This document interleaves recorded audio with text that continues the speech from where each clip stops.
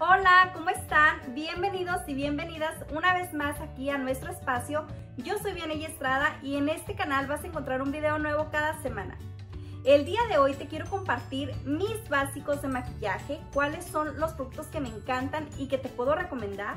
Entonces, si tú eres nuevo o nueva en todo esto del maquillaje y no tienes ni idea por dónde empezar, quédate conmigo hasta el final de este video porque voy a dar algunos tips de algunos productos que probablemente te puedan interesar. Si bien no soy experta, pero puedo darte algunos consejillos y truquillos que te pueden gustar. Entonces quédate conmigo hasta el final de este video. Lo primero que te recomiendo que tengas es una cosmetiquera. Esta es mi cosmetiquera. Eh, está grande, le caben bastantes productos, entonces te recomiendo que tengas tu cosmetiquera. Número uno. Ok, como número dos, el producto que te recomiendo que no te puede faltar porque es muy importante, porque de este depende eh, que todo tu maquillaje se te vea súper bonito, que te dure, que se vea perfecto, que no se vea así como que descarapelado o como que, que, se vea como con hoyitos. Entonces lo primero que te voy a recomendar es un primer. Este es el primer que yo uso. La verdad es que me encanta, me queda súper bien. Eh, se ha adaptado a mi piel. Tú tienes que buscar un primer que se adapte a tu piel, que te quede con, conforme las necesidades de, de tu cara. Ese es el que a mí me ha funcionado y la verdad es que es súper económico. Lo encuentras en casi cualquier farmacia y pues te lo recomiendo. Ese es el primero. No te debe faltar un primer. Viendo una base de maquillaje. Eh, yo tengo dos que la verdad me encantan. La primera es esta de Kate Von D. La verdad es que esta base dura muchísimo. O sea, es una base pesada, te dura mucho el maquillaje pero si no la quieres, si no quieres traer tu maquillaje tan pesado en la casa eh, o para ir a la escuela o el trabajo, te recomiendo, y bueno, también te recomiendo otra base, es esta. Esta eh, te la puedes poner para el diario, para estar en tu casa, para ir a la escuela o cualquier cosita, o sea, para cualquier emergencia. Esta es súper buena, entonces la encuentras en cualquier lugar y es súper económica. Te recomiendo también que tengas un corrector. Un corrector no te debe de faltar en tu cosmetiquera, ¿ok? Entonces yo tengo dos, te recomiendo este, sale muy bueno la verdad, es de Tarte. Recuerda cuando te vayas a comprar un corrector, si no tienes ni idea, si nunca has usado un corrector, eh, es importante que te lo compres dos tonos más abajo de tu, de tu base. Entonces para que se vea la diferencia, para que puedas hacer el trabajo en tu cara, te recomiendo que sea dos tonos abajo de tu base, ¿ok? Ok, te recomiendo este de la marca Tarte. O te recomiendo este que la verdad a mí me encanta. Eh, también es muy bueno. Es esta marca.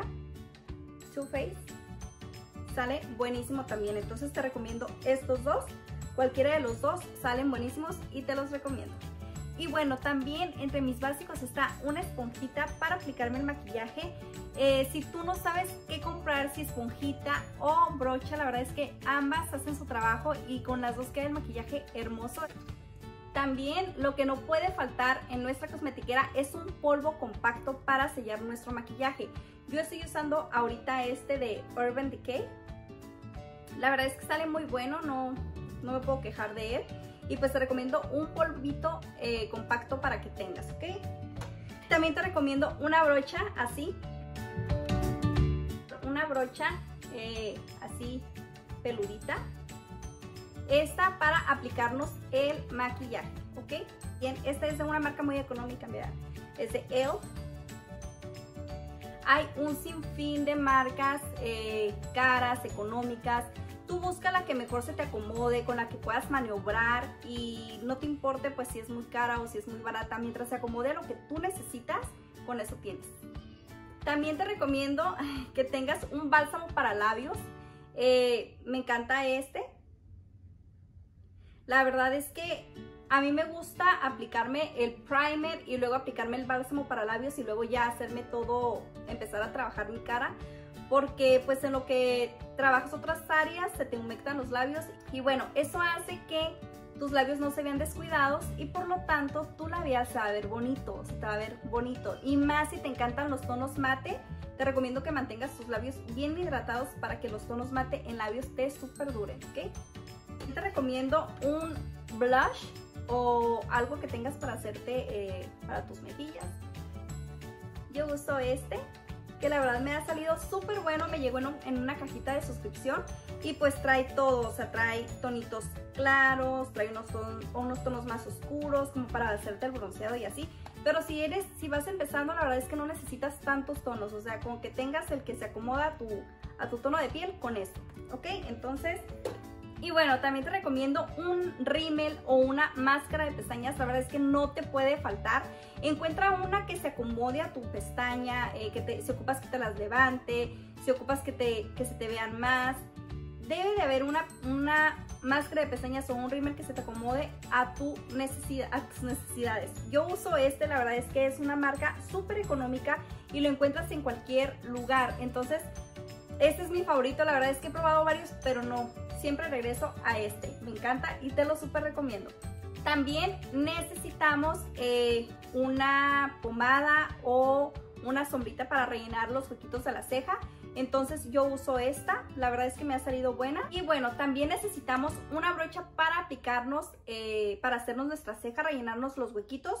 Yo tengo esta, dos en uno, eh, trae la, la brochita para rellenar los huequitos y también trae el cepillito entonces me ha salido muy buena. Si vas empezando y ya quieres invertir en unas buenas brochas, pues te recomiendo que busques, que vayas, que las toques, porque hay algunas que están muy duras, hay otras que están bien, bien aguadas.